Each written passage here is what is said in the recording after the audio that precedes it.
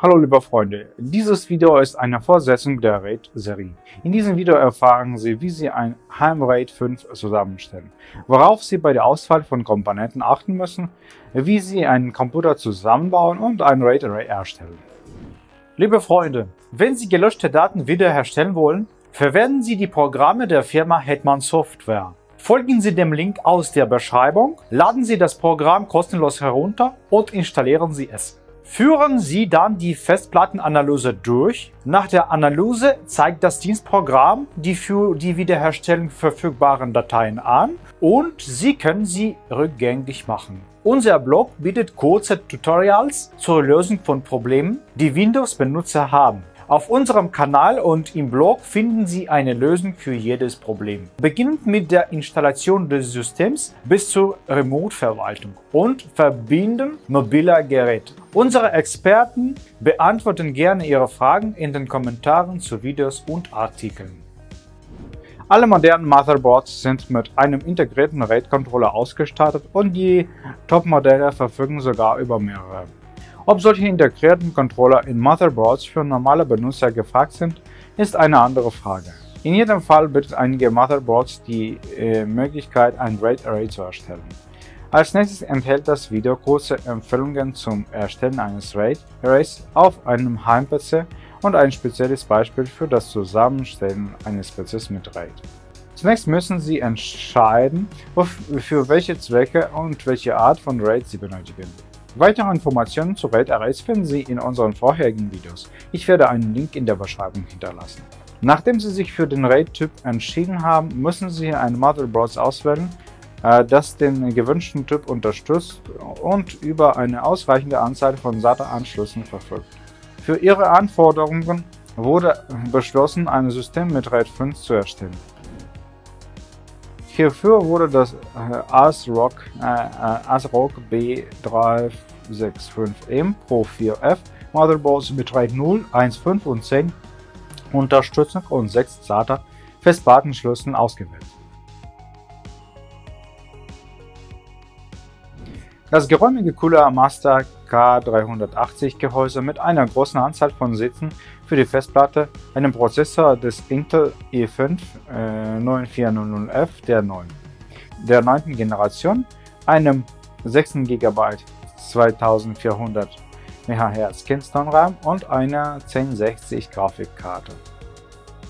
Fahren Sie mit den Komponenten, die wir herausgefunden haben, mit der äh, Montage fort.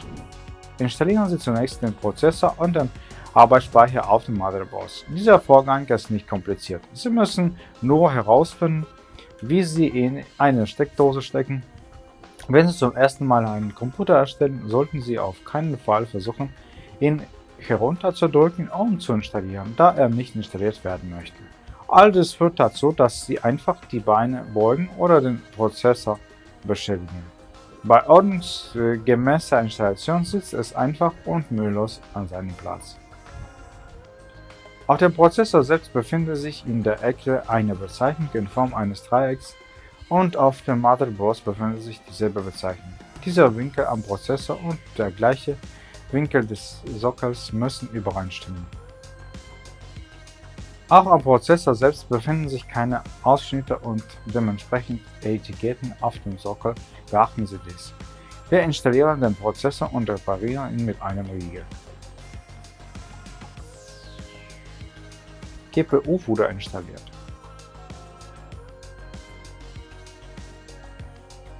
Der nächste Schritt ist das Aufbringen von äh, Wärmeleitpaste und die Installation eines Prozessorkühlers. In meinem Fall ist der Kühler bereits mit äh, Wärmeleitpaste versehen. Wir müssen ihn nur installieren. Wir setzen es an seinen Platz und drehen die Riegel. Der Kühler wird immer mit Anweisungen zur Installation geliefert. Machen Sie sich daher vor der Installation mit ihm vertraut und Sie können ihn problemlos installieren. Jetzt muss es noch mit dem Motherboard verbunden werden. Dazu muss der vom Lüfter kommende Stecker in den Sockel mit der Bezeichnung GPU-Fan gesteckt werden. Dies Layout hängt vom Motherboard ab, aber die Besti äh, Beschriftung ist immer dieselbe.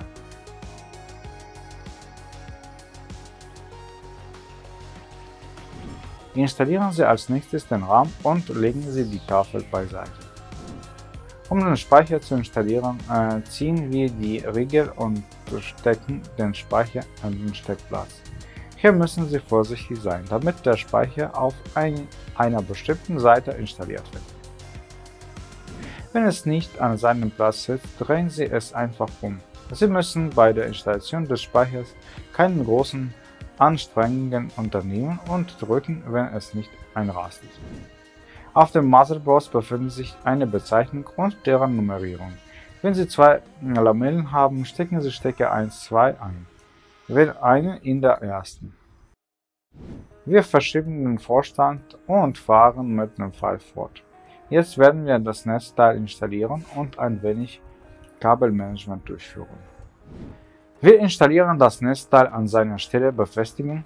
Äh, die Schrauben werden mit dem Gerät geliefert. Wir verlegen die Kabel an der Seite der hinteren Seitenabdeckung und durch diese Löcher stecken.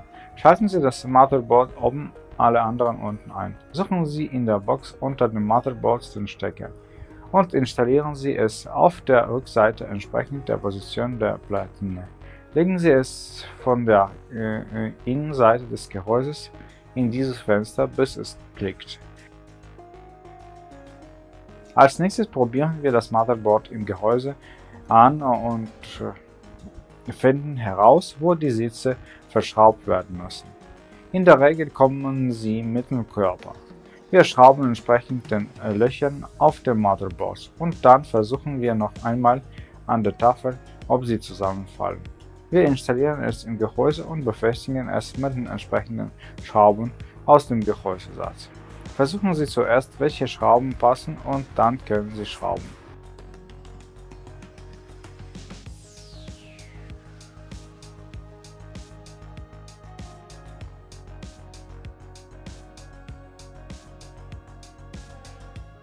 Der nächste Schritt besteht darin, das Netzteil an das Motherboard anzuschließen. Wir schließen die Prozessorleistung an. Dies ist ein achtpoliges Kabel und Motherboard Stromversorgung das größte Kabel.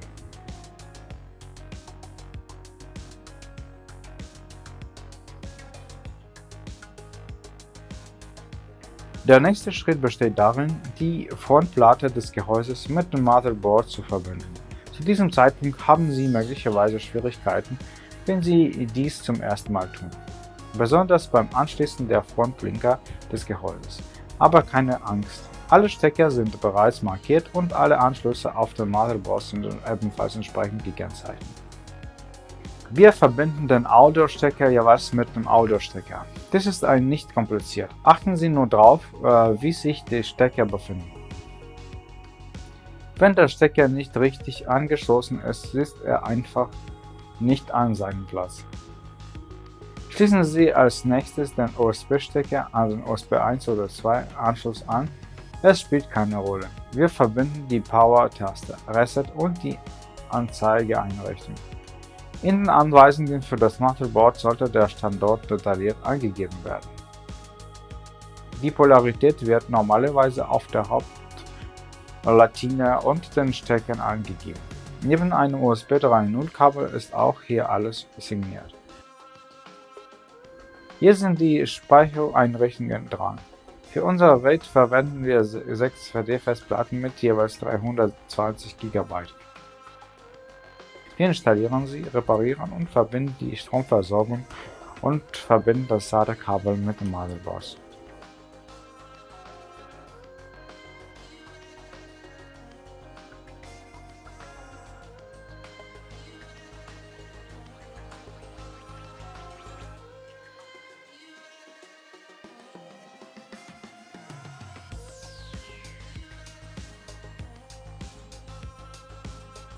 Da nicht genügend Stromanschlüsse vorhanden sind, um alle Laufwerke anzuschließen, verwenden wir die entsprechenden Adapter.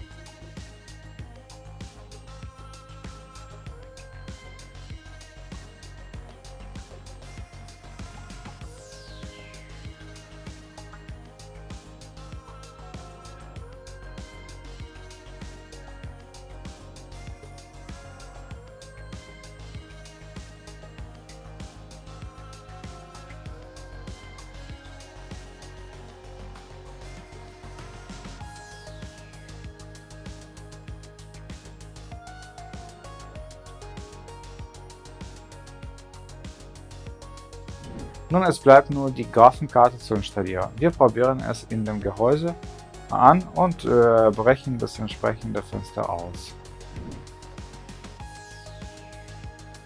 Dann setzen wir die Karte einfach in den PC Express Steckerplatz ein und befestigen äh, sie mit Schrauben. Nach der Installation schließen wir das Netzkabel der Grafikkarte an. Damit ist die Montage des Computers abgeschlossen.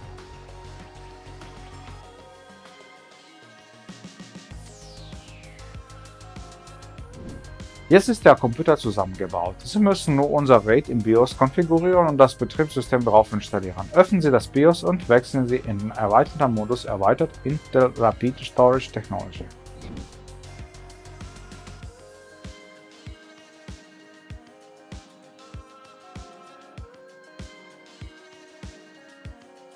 Hier wählen wir RAID Volume erstellen. Wir geben den Namen an, äh, wählen den RAID-Typ aus und markieren die Laufwerke dafür.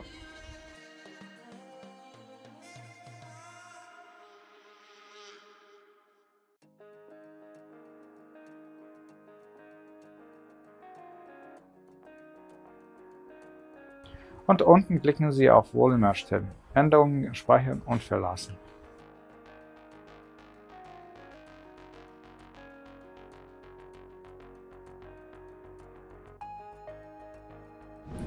Nun bleibt das Betriebssystem zu installieren. Dazu benötigen Sie ein bootfähiges USB-Laufwerk oder eine bootfähige Festplatte. Wie man ein bootfähiges USB-Laufwerk erstellt und das System installiert, haben wir separate Videos auf dem Kanal. Sehen äh, Sie den Link in der Beschreibung.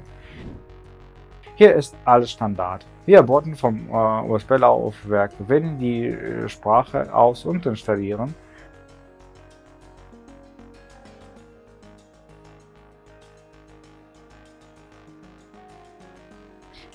geben den Schlüssel ein und wählen die OS Edition aus, die Sie installieren möchten. Wir akzeptieren die Bedingungen der Ver Vereinbarung. Zu diesem Zeitpunkt müssen Sie ein Laufwerk auswählen. Wie Sie sehen können, sieht das System äh, ein Laufwerk pro 1 TB. Dies ist unser RAID-Laufwerk. Wir markieren es und klicken weiter.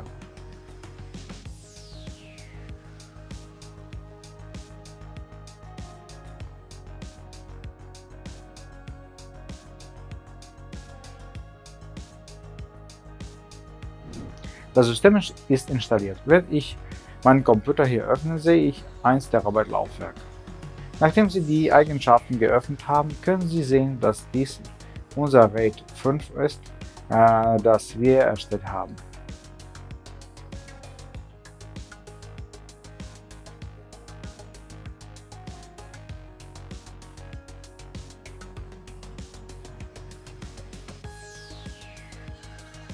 Und das ist alles. Ich hoffe, dieses Video hat euch geholfen. Vergesst nicht, unseren Kanal zu abonnieren und Daumen hoch. Stellt eure Fragen in, den Kommentaren. Vielen Dank fürs Zuschauen. Tschüss.